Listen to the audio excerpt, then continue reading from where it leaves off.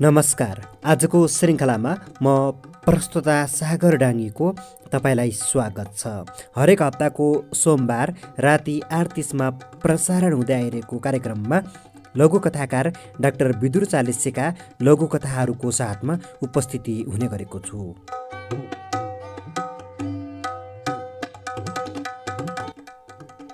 श्रोतागण योभन्दा अघिल्लो श्रृङ्खलामा दुईवटा लघु कथाहरूलाई वाचन गरेर सुनाएको थिएँ र आजको यस श्रृङ्खलामा पनि डाक्टर विदुर चालिसेका दुईवटा लघु कथाहरूको साथमा उपस्थिति भइसकेको छु। योभन्दा अघिल्लो श्रृङ्खलामा वाचन गरिएका लघु कथाहरूलाई सुन्न सक्नुहुनेछ।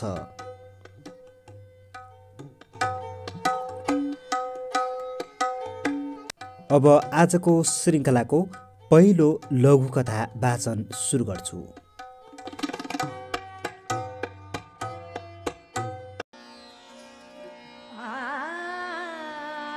Isaac newton.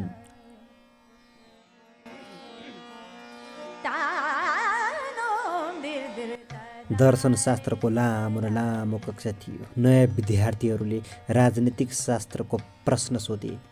बगैँचामा स्याउ माथिबाट तल त खस्छ भन्ने कुरा वैज्ञानिकले पत्ता लगाए तर तल बसिरहेको स्याउ माथितिर किन उड्दैन भन्ने कुरा किन पत्ता नलागेको? दर्शनशास्त्रको कक्षामा प्रोफेसरलाई मसला पुगिहाल्यो। उनले हतपत्त विद्यार्थीलाई सम्झाउँदै भने बुझ्यौ वैज्ञानिकले पत्ता नलगाएको कुरा नै दर्शनशास्त्रीले पत्ता लगाउँछ। ल पख तिम्रो नाम के रे? विद्यार्थीले प्रोफेसरको प्रश्न सुनेपछि एकछिन अलमलमा पर्यो। अनि कागजको टुक्रा पोको पारेर माथि उफारेर अघिल्तिर रहेको एउटा महिला विद्यार्थीलाई हिर्कायो। उनले कागजको त्यो टुक्रा हात लिइन् अनि प्रोफेसरतिर हेरेर मरि मरि हाँसिन्।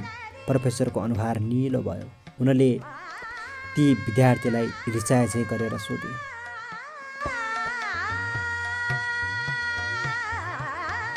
त्यो उल्लुले के को चिट दिएको खुरुक्क भन त। लज्जा र स्नेहका बिच ती विद्यार्थीले प्रोफेसरलाई आफ्नो कुरा भन्न त सकिनन् तर अलिकति उत्तर फर्काइन्। विज्ञानको नयाँ थ्योरीको उत्खनन। दर्शनशास्त्रका प्रोफेसरलाई कञ्चड ताप्न थाल्यो। उनले यसै विषयमा बहुत जोडले तर्क गर्न लागे अनि फेरि आफ्नो लामो लामो प्रवचन सुरु गरे।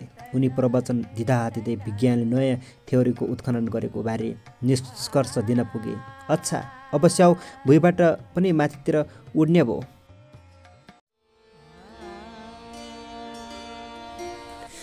महिला विद्यार्थीको चिट एकछिनमा कता हरायो? थाहा भएन। राजनीतिक शास्त्रको विद्यार्थीले त्यस्तै अर्को चिट फेरि उफारेर प्रोफेसरको कोटतिर फाल्यो। प्रोफेसरले देखेको नदेखे गरेर सो चिटको गोलो टिपेर आफ्नो गोजीमा हाले अनि चुपचाप लागेर मनमनै सम्झे। यो न्युटनको गुरुत्वाकर्षण सिद्धान्तको खर जवाफ हो। त्यसपछि प्रोफेसरले फेरि प्रवचन दिन सुरु गरे। सबै विद्यार्थी सुनिरहेका थिए। उनीहरूलाई आफ्नो विषयमा अब्बल हुनु थियो।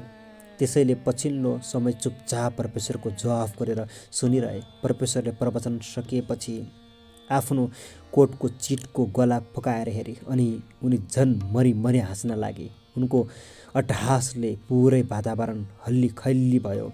यसै बिच उनले भने राजनीतिक शास्त्रको प्रेम खुब बढेछ। कसरी प्रोफेसर?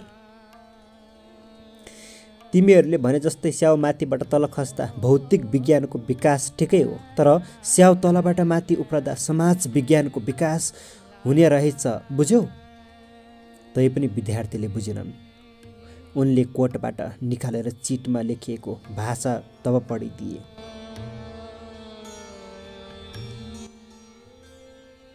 ओ माई डियर सपना म पनि आइज्याक न्युटन नै हुँ। हल्ला नगर। प्रोफेसरको प्रवचन सकिएर छुट्टिएपछि उनीहरूले राजनैतिक अभ्यास समाजमा सुरु गरे। झुट बोलिरहेका उनीहरूले एउटा स्लोगन भनिरहे। तलबाट माथितिर उफ्रेर सूर्य उदाइरहन्छ।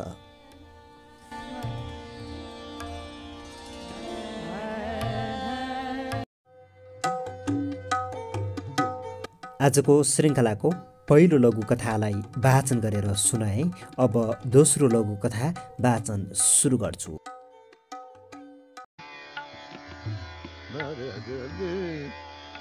कालो छाया।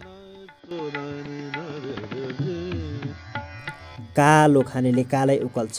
एउटा पागल दर्शनशास्त्री चाहिँ सडकमा भटभटाइरहेको थियो। उसको मनको वेदना के थियो थाहा थिएन तर पनि उसको गनगन सुन्ने सबैले ठान्थे यसलाई पीडा दिने कुनै महान महामानव थिए होला।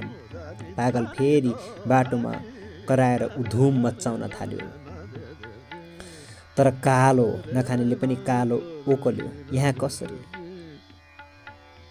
बाटोमा हिँडिरहेका मान्छेहरू वाल्ल परिरहे। उसका सुनेका सबै कुरा बुझेका मान्छेहरू चाहिँ व्यवस्था गर्दै भनिदिन्थे। कहिले के बोल्छ कहिले के बोल्छ त्यही भएर यसलाई पागल भन्दा रहेछन्। त्यसपछि समाजमा ऊ अर्ध पागलबाट अब्बल पागलमा पुग्यो। त्यसपछि उसलाई कसैले पत्याउन र बोलाउन छोडे। समय बित्दै गयो। उसका विचार भावना र भावुकता मर्दै गए। उससँग केवल जीर्ण शरीर मात्रै थियो लुखुर लुखुर हिँडिरहेको थियो। एक दिन महामानवलाई एउटा नाटक थिएटरमा भेट्यो। उसको आँखा ठ्याक्कै जुद्यो। उसले सोध्न भ्याइहाल्यो आजकल कालो खानेले पनि किन सेतै ओकल्छ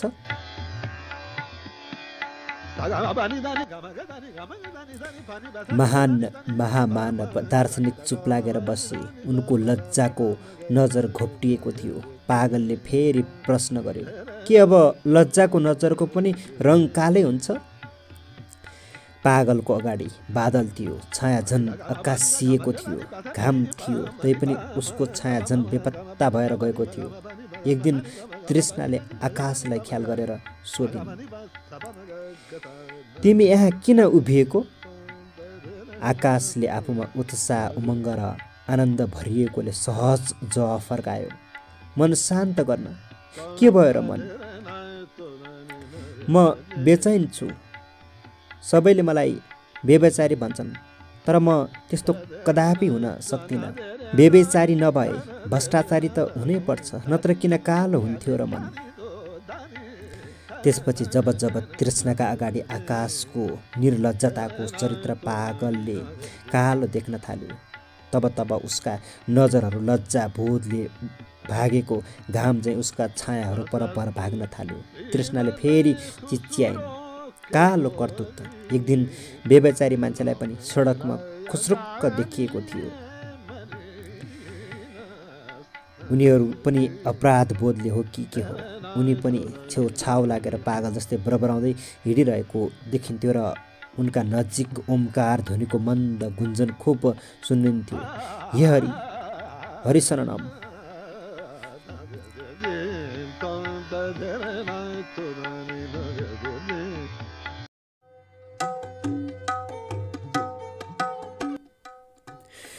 श्रोतागणहरू आजको श्रृङ्खलामा लघुकथाकार डाक्टर विदुर चालिसेका दुईवटा लघुकथाहरूलाई वाचन गरेर सुनाए।